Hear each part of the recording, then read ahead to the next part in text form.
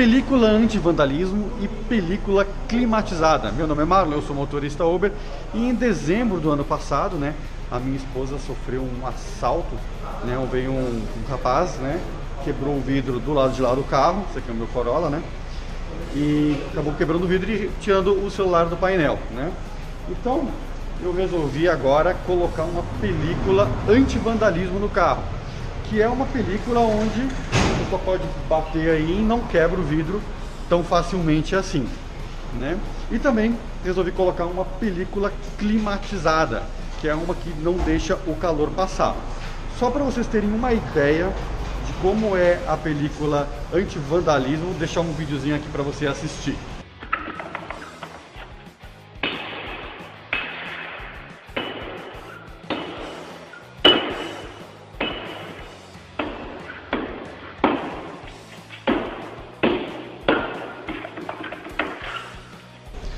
Vocês viram que na película anti-vandalismo pode bater, bater aí que não quebra facilmente, tá certo? Então a minha ideia é conseguir mais proteção, porque as ruas de São Paulo estão muito perigosas aí e a galera realmente tem quebrado é, muito, muito vidro aí de motorista Uber para roubar o celular. Isso tem acontecido com vários colegas meus também. Então acho que uma solução boa é essa película de é, película anti-vandalismo. A película climatizada é uma película já que não deixa passar o calor, então tipo o calor do sol não passa tão facilmente é, para dentro do carro e o carro não fica tão quente. Né? Isso é bom porque ajuda no ar-condicionado. O ar-condicionado não precisa estar tá sempre no talo lá para compensar esse calor que entra dentro do carro. Isso acaba sendo bem, bem melhor, porque você não precisa também estar tá com, com o ar-condicionado o tempo todo ligado. Às vezes dá para dar uma reduzida também por causa dessa película. Mostrar para vocês como funciona essa película climatizada.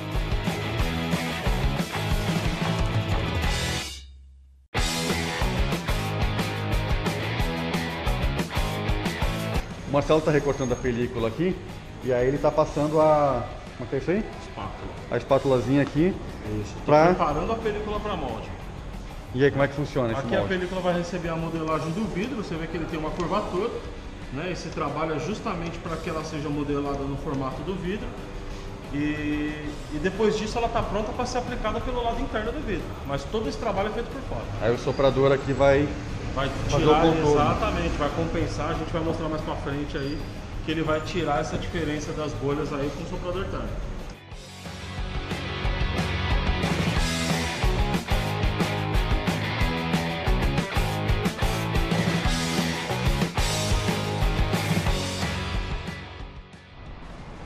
Bom, vamos entender agora como é que funciona esse esquema de película climatizada. O Marcelo vai explicar aqui pra gente. Tem aqui ó, um medidor, dá pra ver ele tem infrared, luz visível, luz ultravioleta. Marcelo, como é que funciona esse equipamento aqui? Vamos lá, esse equipamento ele dimensiona, é, ele, fraciona a radiação solar. É, o infravermelho, que é a taxa de calor que chega pela radiação solar, a visibilidade, ou seja, o escurecimento que cada película vai oferecer, e aqui ultravioleta, que são os raios é, cancerígenos que desgastam mobiliário, essas coisas, o próprio interior do carro, aí, painel, banco, enfim. Tá? É, aqui a película que a gente está removendo do carro, a película velha, tá? Tava no meu Corolla essa película, a gente tirou agora do vidro. Isso, Vamos botar aqui pra ver. Tá aqui, ó. Se a gente colocar ela no equipamento para mensurar a taxa de medição dessa película, o que, que nós temos aqui, ó? Uma transmissão de quase 100% do infravermelho, ou seja, essa película não reduz em nada o calor, pode ser a melhor película que for, sem a redução do infrared, ela não reduz calor, tá? Aqui a taxa de luminosidade em 16%, essa é uma famosa G20, né? A maioria deve conhecer como G20. E aqui ultravioleta, olha como está desgastado o ultravioleta, está com transmissão de 22%, ou seja, ela está retirando menos de 80% da carga de ultravioleta. Agora a gente vai colocar uma película nova, a gente vai poder ver o quanto ela é diferente em termos de performance dessa película. Mostra aí de novo aí, ó, as taxas, 97, né? 16, 22, né? Exatamente. ó. Vamos lá, agora a gente vai ver uma G20, né? Isso, essa é a película Só que climatizada. Exatamente, esse é o produto novo que a gente está colocando no Corolla, juntamente com a película anti-vandalismo, essa é uma G20 com redução de calor. Vamos perceber os níveis como são bem diferentes da película que tinha instalada no carro anteriormente. Ó. Nós temos aqui ó, uma carga de 33, 32% de transmissão de infrared, ou seja, ela está fazendo um filtro de quase 70% do infravermelho. Luz visível a mesma coisa, está dando 17%, essa também é uma G20. E ultravioleta 1.0, está filtrando 99% do ultravioleta, ou seja, uma performance de produto novo com durabilidade. Esse produto tem 5 anos de garantia. Então, enfim, pelo tempo que ele passar com o carro aqui, ele vai ter um produto de boa performance. Beleza, eu pedi aqui para o Marcelo instalar em metade do vidro do meu carro só essa película para a gente ver como é que ficaria. Vamos levar o, o vamos, equipamento vamos. ali? Então aqui no olhando o equipamento, vai ter que botar o equipamento de cabeça para baixo, né? Isso aí. Então aqui está a película térmica, né? Exatamente. Climatizada. Vou botar aqui de cabeça para baixo para vocês verem. Ó, então 14, 15 de infrared, 15 de luz visível, porque muda os números quando estão no vidro, né? Isso, vale citar que quando soma película mais vidro, a performance é do, da massa global. Ou seja, película mais vidro Isso. acaba melhorando um pouco as performances. E aí se a gente vir para cá, só para o vidro, muda para 36 de infrared, 88 de luz visível. O próprio vidro ele já filtra um pouco da luz, né? E sim, mais da metade aí do, do ultravioleta está passando. Então, saindo daqui, entrando no filme, já reduz. Cara, o ultravioleta é fantástico, né? É, aí luz visível de... mudou bastante, ó. E o infrared também. Bom, a ideia dessa dessa película climatizada é justamente é, a gente poder ter menos calor dentro do carro, o carro esquentar menos. Bom, vamos fazer agora um outro testezinho. Tem uma lâmpada aqui, cara, que é quente. Tá bastante quente. Bastante. Ó, a gente tem um termômetro aqui. Vou virar aqui a câmera para vocês irem do lado certo. Tá marcando 32.7, 32.8 agora. Tá subindo. Agora o Marcelo vai colocar o filme que estava no meu carro, né, Marcelo? É isso aí. O filme que estava no meu carro vai colocar aqui na frente da lâmpada para saber se vai mudar a temperatura. Coloca aí.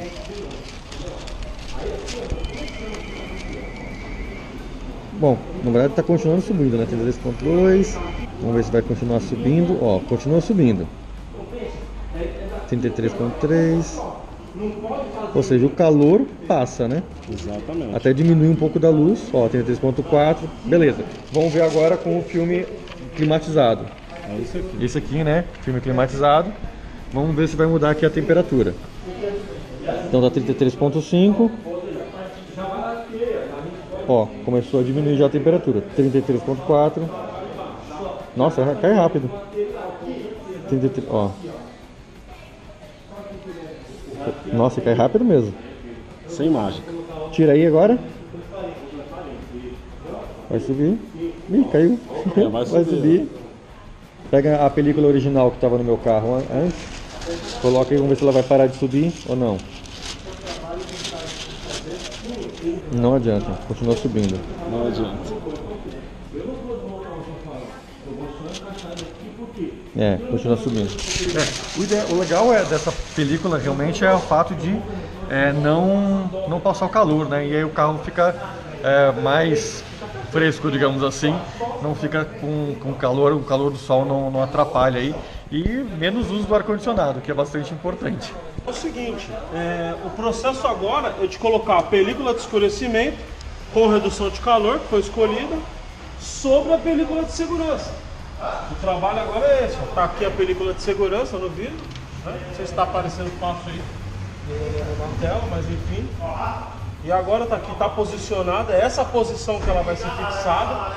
Então definida a posição, eu vou limpar a película para fazer essa sobreposição. Certo? Estou posicionando ela para ficar dentro da área de corte. Vocês dá para ver no vídeo aí, aqui é o final da película. Certo?